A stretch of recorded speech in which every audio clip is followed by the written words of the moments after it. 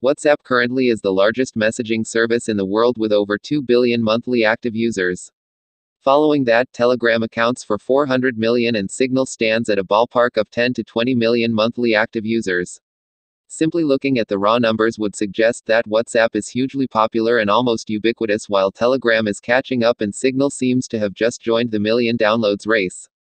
However, numbers do not often tell you the entire story, hence here we do a comprehensive comparison of the three apps' security and features. WhatsApp offers almost every feature you might need. You get support for group chats with up to 256 members. You can also broadcast messages to multiple contacts at the same time. It also supports voice and video calls both for individuals and groups. However, for group video calls, you are restricted to 8 users at any time. Further, WhatsApp also offers a status feature, also called WhatsApp Stories, similar to Instagram Stories. WhatsApp also allows you to share all sorts of files and documents, but there are file size limits to adhere to. For photos, videos, and audio files, the limit is 16 megabytes.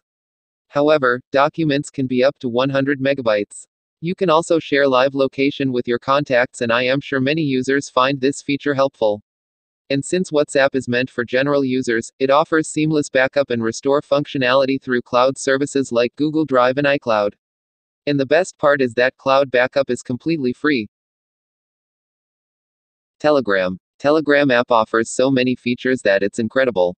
Similar to WhatsApp, you get the basics such as chats, group chats, and channels. However, unlike WhatsApp's 256 member limit, Telegram brings support for groups with up to 200,000 members. It also offers multiple group specific features such as bots, polls, quizzes, hashtags, and a lot more, which can make group experiences a lot more fun. The app also offers a unique feature self destructing messages, like Snapchat, which is great if you're sending messages that you don't want to remain on the recipient's device for eternity.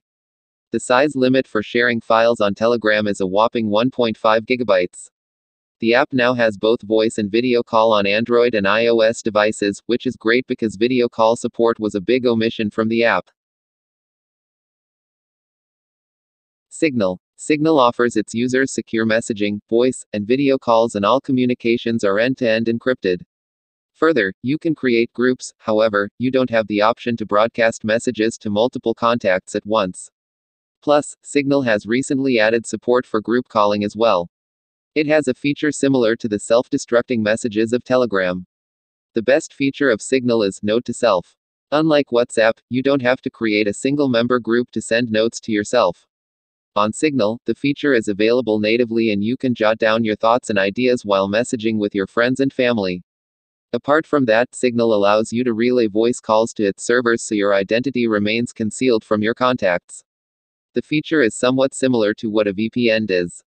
There are also emojis and some privacy stickers, but they are very limited in comparison to WhatsApp and Telegram. Let's have a look at security of WhatsApp. The end-to-end encryption E2E introduced in 2016 on WhatsApp is available on every single mode of communication that the app enables. So all your messages, video calls, voice calls, photos, and anything else you share are end-to-end encrypted. WhatsApp uses the E2E protocol developed by Open Whisper Systems, which is the name behind Signal Messenger. That's a good thing, because the Signal protocol is open source, widely peer reviewed, and is generally considered one of the best protocols for implementing end to end encryption in messaging platforms. However, WhatsApp does not encrypt backups cloud or local. Also, it does not encrypt the metadata which is used to carry communication between two endpoints. This is one of the major criticisms of WhatsApp's security model. While metadata does not allow anyone to read your messages, it lets authorities know whom and when you messaged someone, and for how long. Telegram. Telegram does offer some level of protection to its users. While Telegram supports E2E encryption, it's not enabled by default. The only way to use E2E encryption on Telegram is to use its secret chats feature. However, Telegram states that it manages its message storage and decryption keys in a way that one would require court orders from multiple legal systems around the world to be able to access any of your data. The company says that it has shared zero bytes of data with third parties and governments to this date. Telegram groups are not encrypted because secret chats are only supported for single user communication. Moreover, Telegram's desktop client doesn't support E2E encryption on any platform other than macOS. Signal. Signal is by far the best when it comes to security, be it on the back end or the user facing side of the service.